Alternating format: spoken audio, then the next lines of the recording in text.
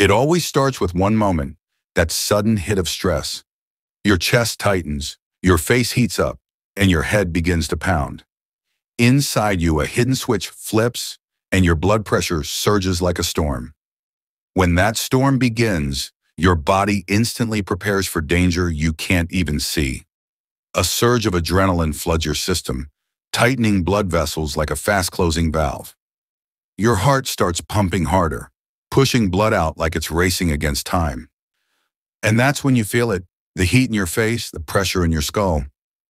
For a moment, your blood pressure climbs because your body thinks you're under attack. This spike settles if the stress passes, but not everyone's body lets it go. Repeated surges slowly harden the vessels that once flexed easily. And that's when stress starts turning into real long-lasting blood pressure problems.